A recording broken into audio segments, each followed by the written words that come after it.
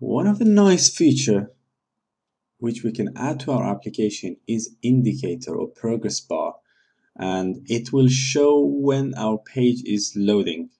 So I am going to use a package called nprogress and nprogress is going to show a very very thin bar on top of the page when we try to load the page as you can see and then when it's finished it will gone away. So let's just add nprogress.js to our project. So I'm going just to close this one and easily install npm install nprogress. In the meanwhile, we're going to download page and uh, we need the CSS file. I'm going to grab the CSS. As you can see, also the github has the same things. So anyway let's just go to the raw. I'm going to just copy the CSS all the way down. Come to our project. In the CSS going to just create a file in progress progress.css and save all of them here. Let's run our server npm run dev. So we need to add this CSS file in our head because we need to call it anytime we need. So I'm just going to easily copy this line and here I'm going to just call it in progress Mm, so now that we have it in a head, we also need to make sure whenever we change the route, our NProgress fires. So if I go to page, page, I believe it's a good place to put them because we are using the page in every single page we have, page component. So I'm going just import it first thing first.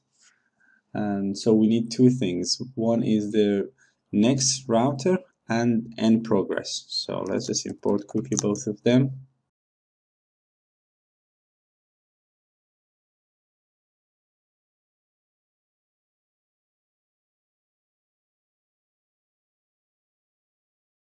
It is next dash route uh, slash router. So now that we have the page running, still we don't see anything because we haven't started our nprogress. In order to do that, we need just to find out when a route is changing. So I'm going just to say route dot on route change. If I can type change. So okay, when the change start, we are going to let's just call it arrow function. So when we're doing that, let's just console log for now console log on route change start triggered and we need to start NProgress. so let's see it then I am going to just refresh the page and go to console.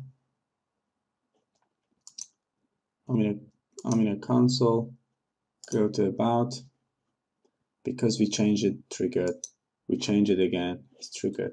And also we need to say when the change has been completed. So I'm just going to copy this one. And again on route change and uh, change complete. So we are just going to copy this bit again.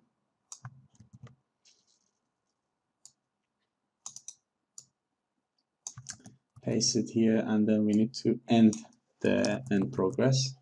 So I'm going to click here, trigger start, trigger complete. Also, we need to make sure if there is any error, we need to do the same things as complete. So I'm going to just paste it here, change error. and we can say error triggered. Simple. And so I'm going to home. I'm going to about. So there's no error anyway. So in order to start NProgress is very simple. All we need to do so NProgress dot start and if you're going to finish it NProgress dot done. The same applies here. So now if you just go to the home page we have the blue bar on top which shows that we are loading something which is much better.